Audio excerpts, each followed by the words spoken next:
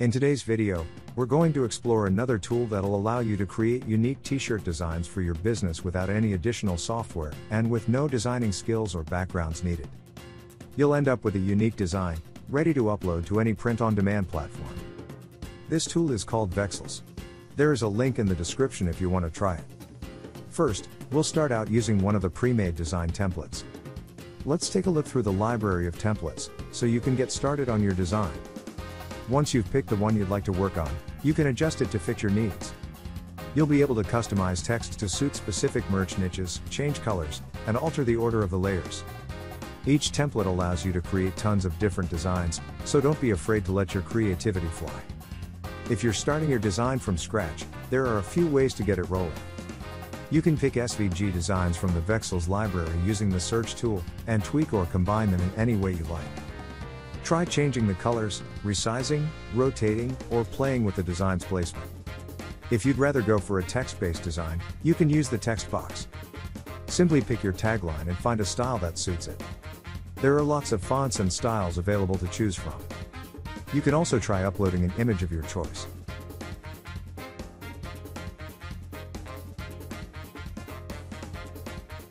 Now let's create a design using one of the templates.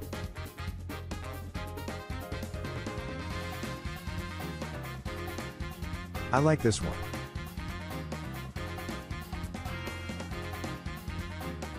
Now let's ungroup the elements and change the text.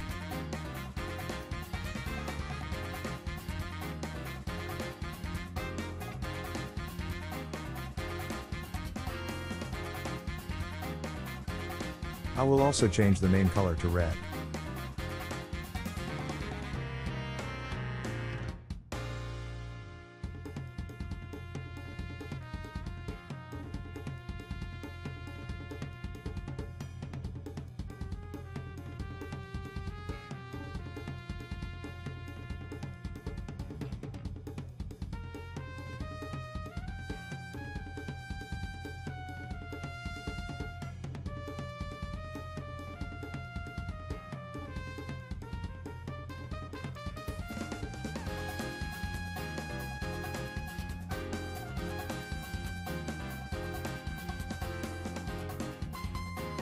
I think I like it this way. I will download it. After downloading your design, you will get three files. The design in PNG and SVG files. And the mockup with the design as an image. So for any beginner in the field of print on demand, I think Vexels can help a lot.